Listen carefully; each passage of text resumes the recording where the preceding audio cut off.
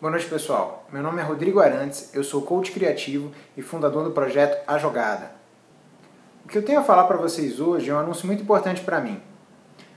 Eu quero anunciar que, oficialmente, eu, Rodrigo Arantes, estou saindo do armário.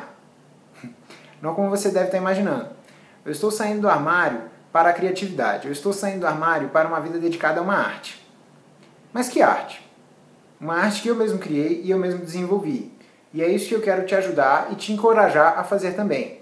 Mas antes da gente falar mais sobre o coaching criativo e a metodologia jogada, eu quero falar um pouco sobre o que me motivou a criar tudo isso. Nós sabemos que a economia mundial está em crise e que isso causa o desemprego de milhões de pessoas pelo mundo todo. E nós sabemos que o desemprego está relacionado com uma porção de problemas sociais. E como se não bastasse a crise, uma pesquisa publicada pelo Instituto Gallup em 2013 revelou que até 70% dos americanos sofrem de algum tipo de insatisfação no seu trabalho. O que tem feito muitos especialistas imaginarem se não existiria uma outra causa, além da, da ausência de vagas no mercado, para o desemprego, que é o que eles vêm chamando de o desemprego voluntário.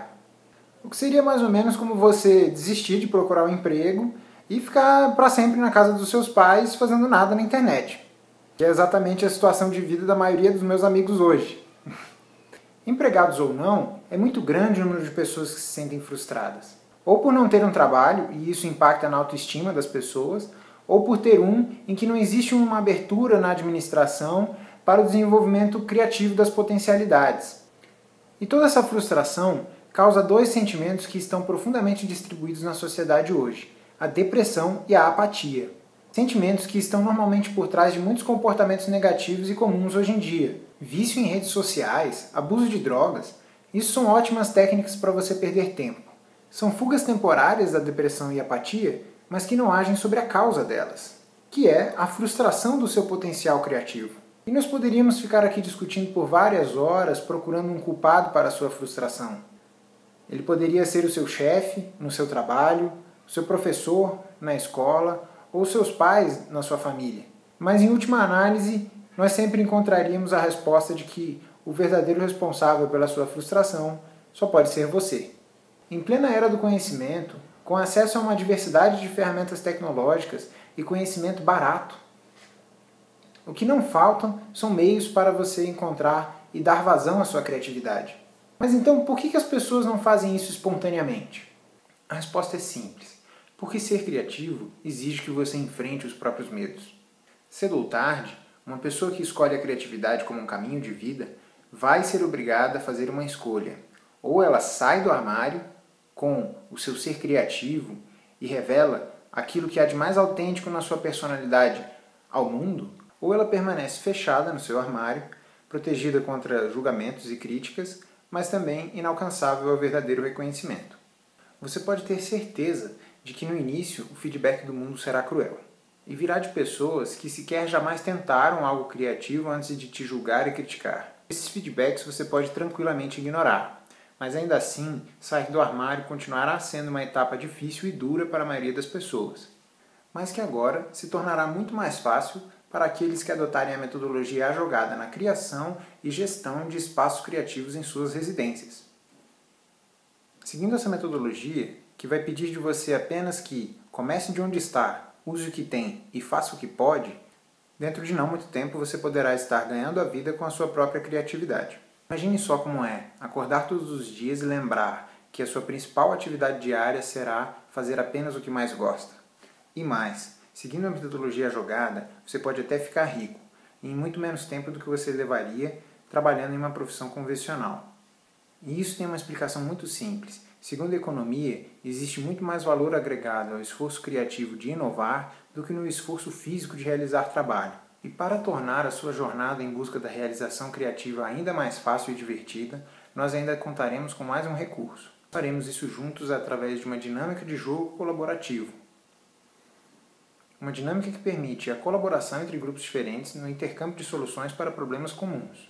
Nos próximos dias eu estarei divulgando a primeira aula do curso A Jogada de Empreendedorismo Gamificado. Para ter acesso, basta se inscrever neste canal e nos seguir nas redes sociais. Para nos encontrar nas redes sociais, busque pela hashtag A Jogada. Mas como dever de casa até antes do vídeo curso, eu vou te deixar duas tarefas. A primeira é começar já a ler o livro A Jogada, que você pode adquirir na amazon.com.br para Kindle ou pode receber em PDF por e-mail. Para isso, basta enviar um e-mail para o endereço que se encontra na descrição do vídeo, respondendo a seguinte pergunta: Quem é você? O que você faz e em que área você deseja desenvolver a sua criatividade? A segunda tarefa é comece desde já a imaginar como você pode reproduzir um espaço criativo na sua residência. Para servir de inspiração, eu vou te mostrar agora como que eu faço no meu estúdio criativo.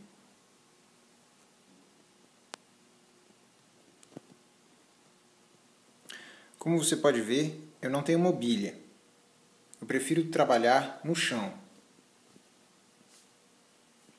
Aqui nessa estante eu tenho apenas livros e algumas ferramentas de criatividade, alguns brinquedos de desenhar, é, post-its, cartolina, isopor, coisas comuns a qualquer tipo de escritório.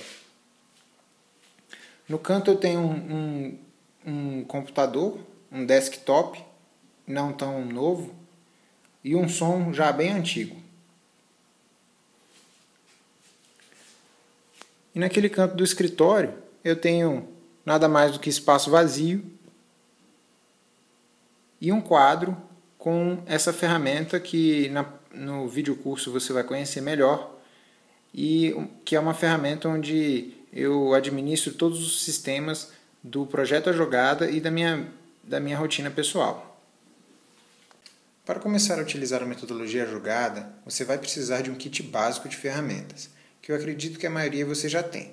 A primeira é um computador, a segunda é um celular e a terceira é esse kit de escritório que contém canetas,